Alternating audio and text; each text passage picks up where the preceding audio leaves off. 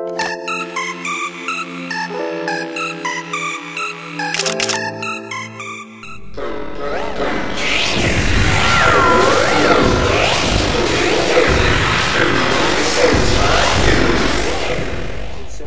applying the uh, mix um, skim coat, so ito nga po.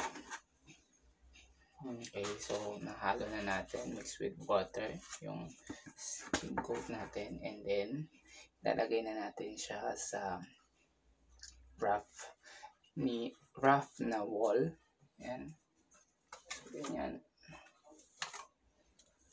So, gamit this kind of uh, tool. Ayan. Ayan.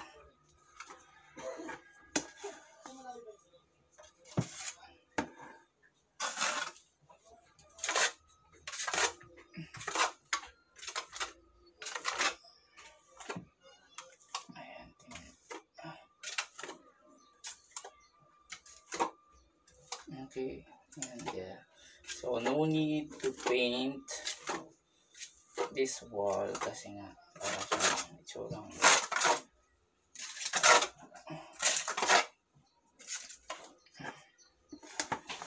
white na pintura na. Kaya, sa nagtitipid dyan, ay, ito yung pwede na natin gamitin.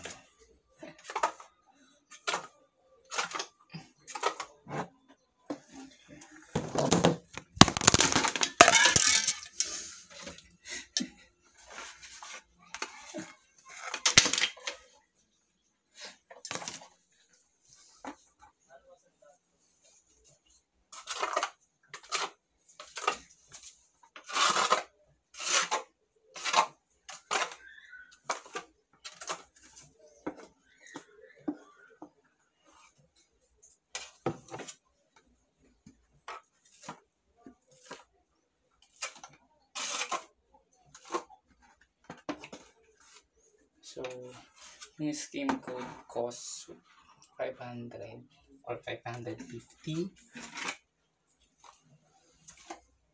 Parang bumili ka din ng pintura.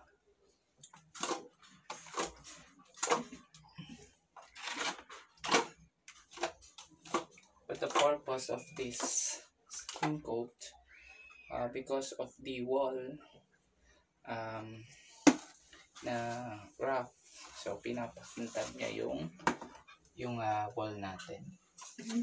Or pinapa-flat niya. Para wala tayong rough na parts.